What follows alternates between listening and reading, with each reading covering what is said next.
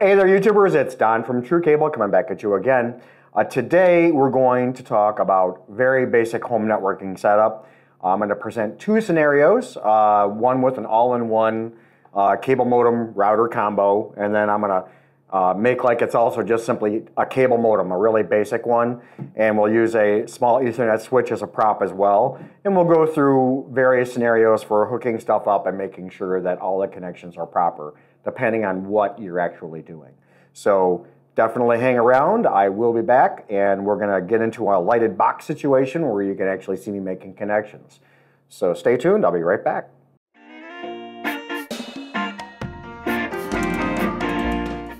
Okay, so the process of hooking a cable modem into your small Ethernet switch to essentially make yourself a wired network is actually quite simple. Um, so we're going to assume that you've got some coaxial cable, and when you've got your uh, cable modem, I would recommend you have it unplugged to begin with. Uh, you can put in your RG6 coaxial cable, and then this F connector connects into the back of it, like so. It might take you a couple of tries to get it threaded on there. And hand tighten, and then if you wish, you can use a 7 16 inch wrench to tighten it a little bit more, but do not over tighten, otherwise you could damage uh, this female port here.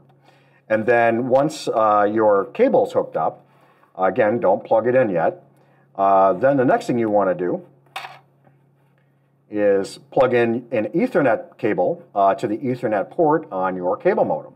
So just plug it in there.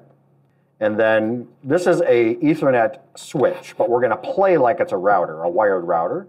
And we'll call port number one the WAN port. So that's how it would be labeled on a router, a wired router. It would say WAN. So we're going to play like it's a four port switch with a one WAN port router here. So you would then plug your uh, Ethernet here into your little WAN port there on your router. And then you've got these four switch ports available. And then you take your another Ethernet cable, you plug it into any one of those ports, they're all equal. And then you can connect in your TV with this cable, plug another cable in and connect in your computer. Use a number three here and plug in your Xbox. And there you go. So, the, but after you get all these connections made, the sequence of powering it up is plug in your power to your cable modem and give it about three minutes for it to come uh, fully up.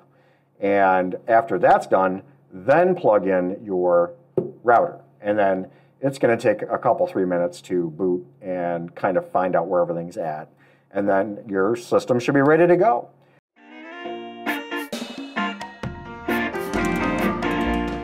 On the first one, we showed you uh, the cable modem was just simply a, a, a, dumb cable modem. It doesn't do anything other than be a cable modem. It doesn't have a, a Wi-Fi access point or the routing or a switch built into it.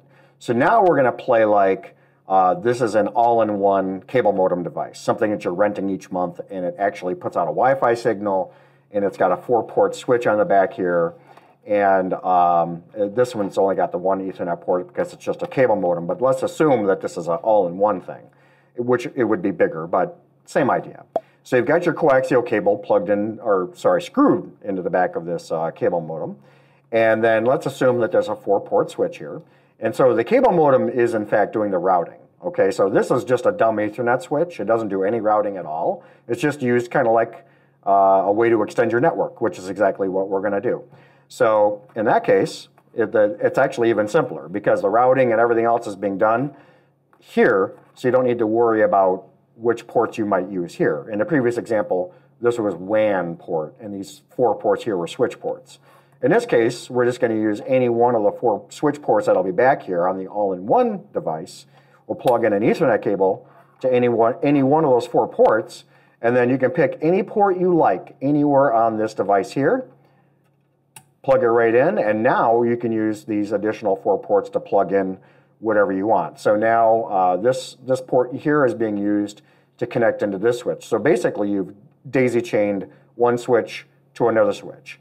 And if you still have three more switch ports available back here, you can use those as well. So now you've got three ports you can use back here and another four ports you can use right out here. So uh, that, that's, an, that's a, the second way that you might see in a typical home situation that this would be uh, done. So if uh, you found that useful, please leave a, uh, a, thumbs up or a thumbs down as you see fit. Subscribe to our channel, uh, ring that notification bell, leave a comment below, and uh, go to our website, truecable.com, visit our Cable Academy. And with that, I'm going to say you have a great day. Happy networking.